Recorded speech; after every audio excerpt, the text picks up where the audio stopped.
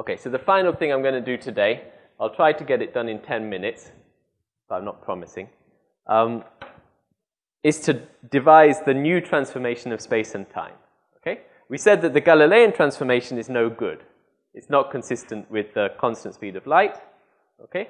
Um, and we also said, you know, these length contraction, time dilation effects do not agree with the Galilean transformation. Right? Galilean transformation assumed no length contraction, no time dilation. So therefore, we need to ask, well, what is the correct transformation of space and time? Right? How do I relate coordinates as measured by one observer to all coordinates as measured by the other observer? And you can do it, and that's what I want to do now. And the transformation you get is called the Lorentz transformation.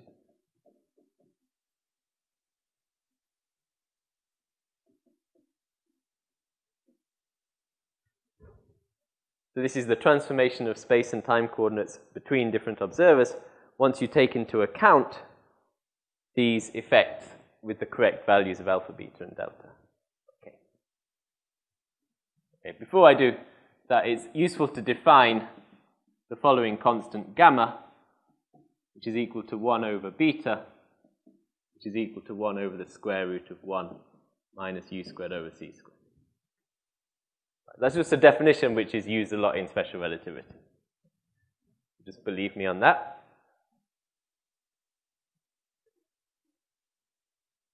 So the, again, we're going to do a kind of thought experiment. Two observers, S and S prime, measure the position is x or x prime, and time, which means t or t prime, of something.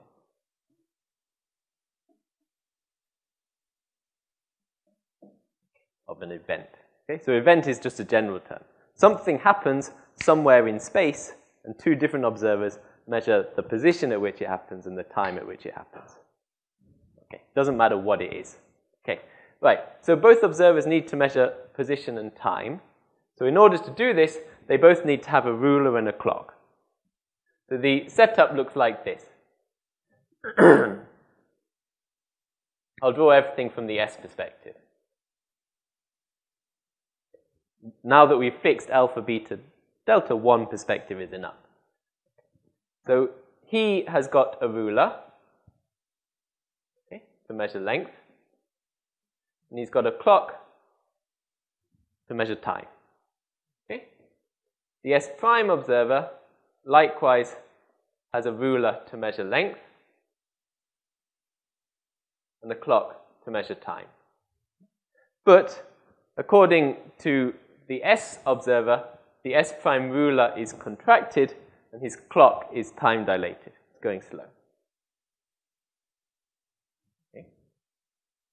So that's the original situation. Now something happens at time t. So at time t, what does the same situation look like? So here's S again. Okay, he's got a, a long ruler. Okay. okay, and he's got a clock which is measuring the time t. Right? Now he sees an event at position x. Okay? So on his ruler, something happens over here, and he measures the time at which it, the position at which it happens, and it happens at position x. Okay? So that's it for S. Now S prime, in the meantime, S prime has moved, right? So S prime will have moved somewhere over here. He's got a clock here. And his clock will be measuring the time t prime, which is beta times t, time dilation. Right? And his ruler will look like this. And he is moving.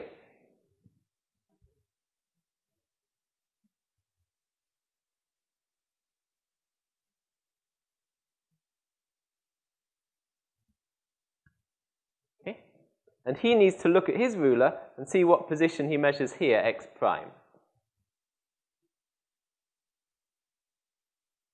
Right? So we'll do positions first, and then we'll work out times.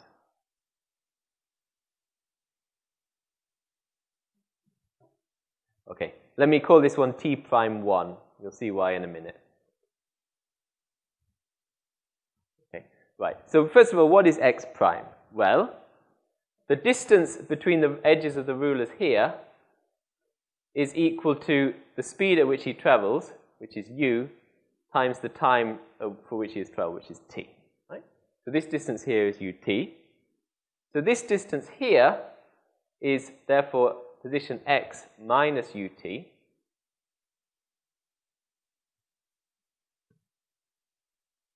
So you might think, therefore, comparing these two, that you'll get x prime is equal to x minus ut.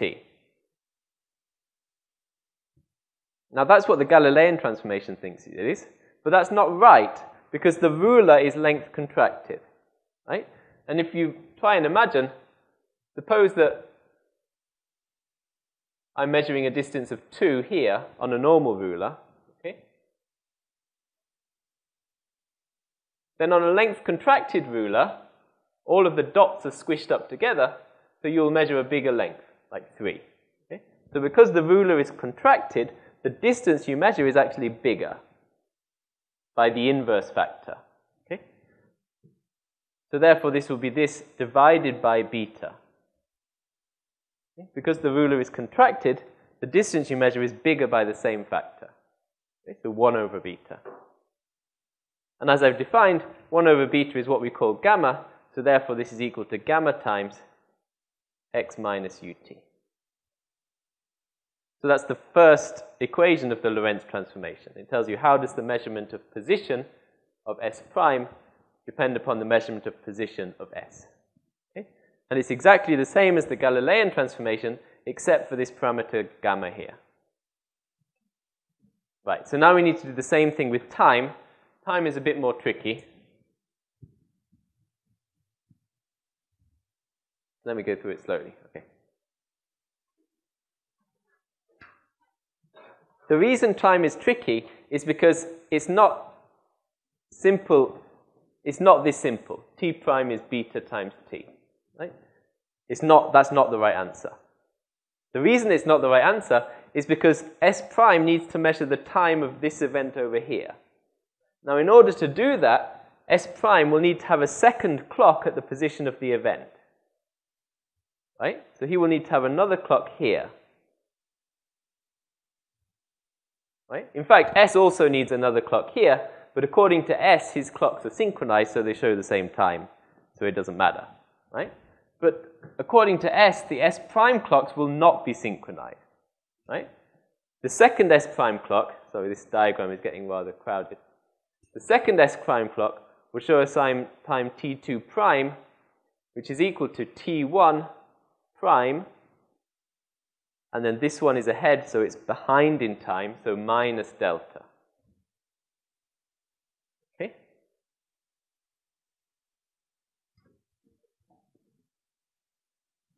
So therefore, the time that S prime measures for the event, which is T prime, which is T2 prime, as I called it there, right, is equal to, going on the diagram, T1 prime minus delta,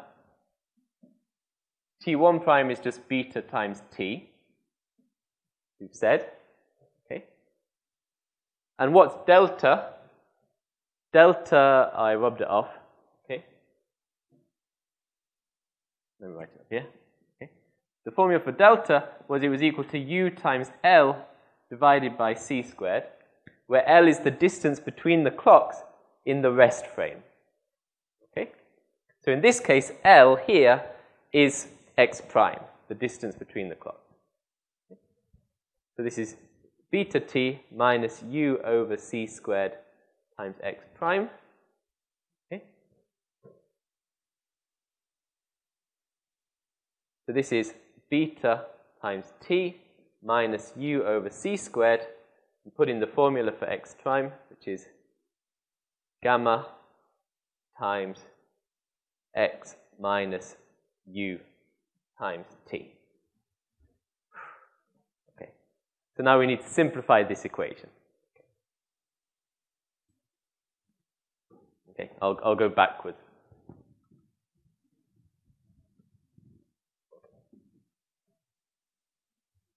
Okay, so I, I'm nearly at the end, so I think 10 minutes was about right. Okay. So, what's this? Well, let's put the t parts and the x parts separately. So the t parts, I've got beta from here, and then from here I've got plus gamma times u squared over c squared. Okay? And the x part is minus gamma times u over c squared.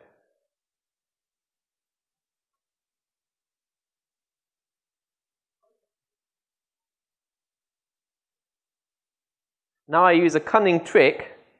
We defined that gamma was just 1 over beta, right? So therefore, beta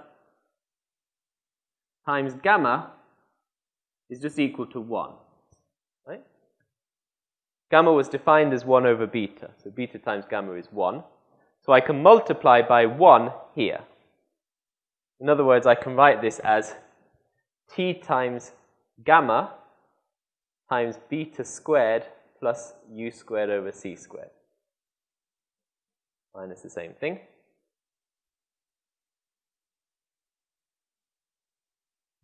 So what I've done is I've multiplied the first term by beta times gamma, and that allows me to take gamma outside. Okay?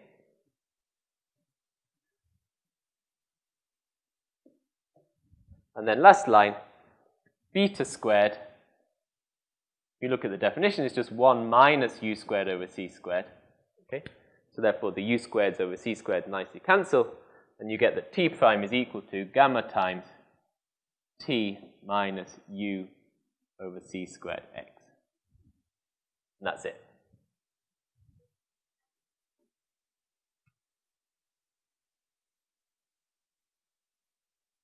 That's the end. Okay, so just let me write it up. Summary. So what's the Lorentz transformation?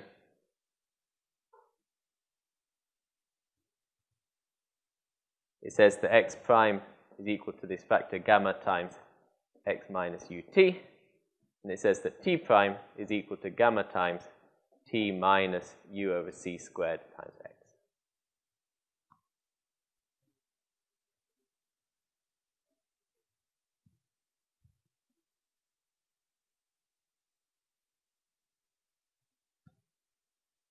Okay, so that's the end of this lecture. We've, we've covered an awful lot of content in this lecture. There's been a lot of new ideas, okay? So we're going to spend the next couple of weeks exploring these new ideas. So next time, we're going to focus on what does the Lorentz transformation actually mean. Okay? After that, we're going to talk about experiments, right? So can you actually experimentally measure the length contraction effect or the time dilation effect? You can. So I'll tell you how you can measure it experimentally. Um, and then finally, we'll talk about what the consequences are for Newton's laws. Okay. Thank you.